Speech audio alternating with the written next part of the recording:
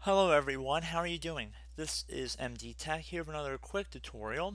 In today's video, I'm going to show you guys how to rotate your display on your Windows computer. So basically, if you want to change the orientation of your view, this tutorial will be for you.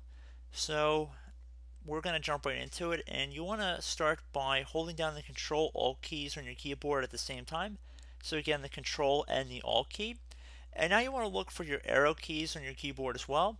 So there will be an up, down, left, and right arrow. So currently your screen is oriented more than likely in this direction.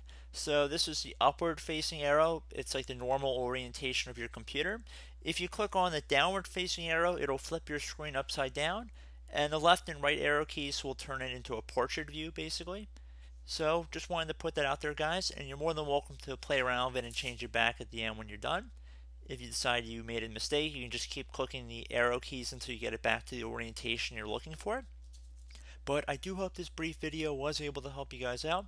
And as always, thank you for watching, and I look forward to catching you all in the next tutorial. Goodbye.